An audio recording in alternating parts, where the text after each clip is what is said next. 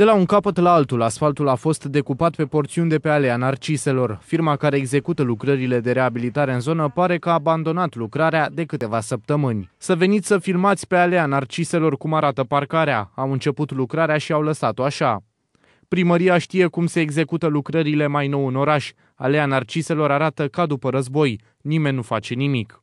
În această zonă, muncitorii au venit, au decopertat o parte din asfalt, iar apoi au plecat. De atunci, lucrările stagnează. Au trecut mai bine de două săptămâni.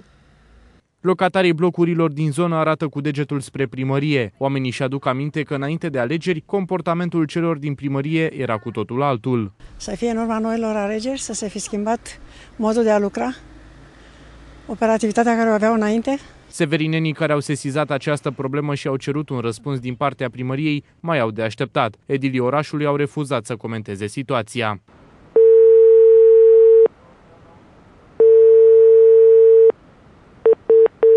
În ceea ce privește răspunsul municipalității, explicația se cam potrivește cu ceea ce jurnaliștii de la Informația de Severin prezintă la rubrica Bârfa zilei. Primăria Drobeta Turnu Severin a rămas doar în Cârjan. Primarul Constantin Gherghe și vicele Marius Creciu sunt plecați în concediu. Activitatea în instituția care deservește cetățenii municipiului este totuși la cote maxime. S-a pus mochetă pe hol și s-a amenajat și un birou pentru vicele Daniel Cârjan, care stătea pe unde apuca, întrucât city managerul Nicolae Paponiu nu a vrut să-și părăsească biroul. Nu uitați că și dumneavoastră vă puteți face cunoscută problema pe care o aveți legată de orașul Drobeta Turnul Severin sau de zona în care locuiți. Este de ajuns să ne semnalați problema prin telefon la numărul 0252 320 320 sau prin SMS la numărul 1284.